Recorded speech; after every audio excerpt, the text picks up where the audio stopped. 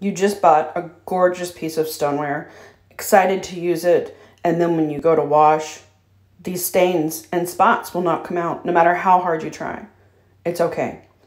That is how our stoneware is to work. You are trying to create a non stick surface, and by it seasoning, that is what it does.